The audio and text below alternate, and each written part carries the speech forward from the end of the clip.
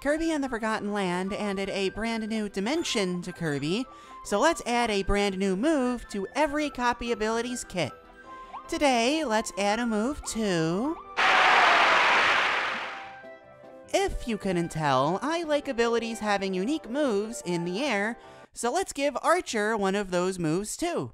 By holding down in the air and pressing B, or the attack button, or whatever, we're barely past five videos and already I'm making problems for myself, Kirby will fire an arrow underneath him with Arrow Rain.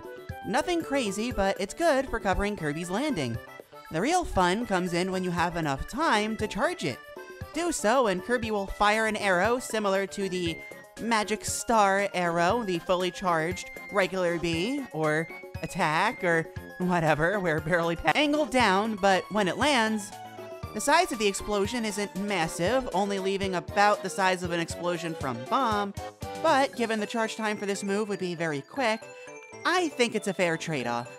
Explosive arrows don't sound safe to me, but when has Kirby ever encouraged safety with anything?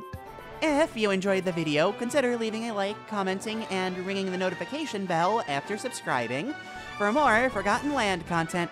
I'm planning on making this almost a daily series, so please look forward to more. I've been Kirbyfan, thank you so much for watching, and I'll see you around. Bye!